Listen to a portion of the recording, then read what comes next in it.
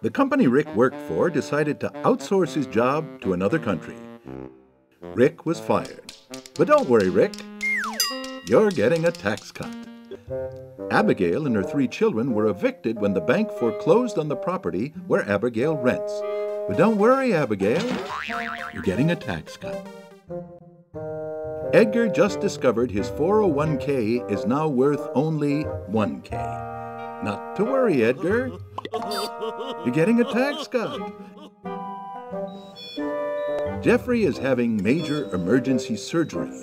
But when the anesthesia wears off and Jeff's in recovery, he'll be informed that his health care won't cover all the expenses and he'll spend the rest of his life paying off this emergency. But don't worry, Jeff, you're getting a tax cut. Unfortunately, Jeffrey didn't make it. And neither do tax cuts as a way to solve all America's problems.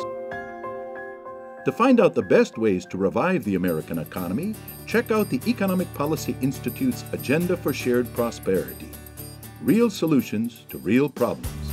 Read it for yourself at www.sharedprosperity.org.